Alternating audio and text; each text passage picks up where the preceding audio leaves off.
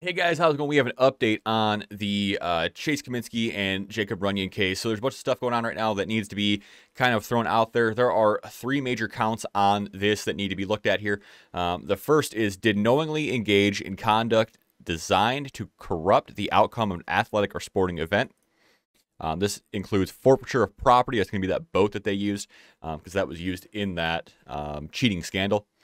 Um, they did with purpose to deprive the owner LEWT of money and services, knowingly attempt to obtain or exert control over either the property or services by deception, and the property or services stolen is valued at $7,500 or more and less than 150K.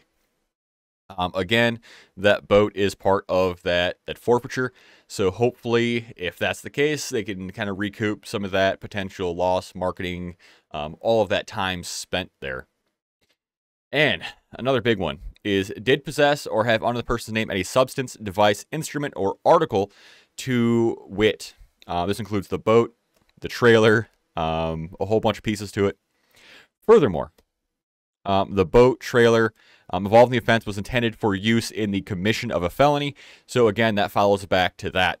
So the few major charges here are grand theft, criminal tools, um, unlawful ownership of animals, and I do believe the other one was uh, cheating, obviously. So shout out to Wired Fish for following up on this. I appreciate you guys following up on this.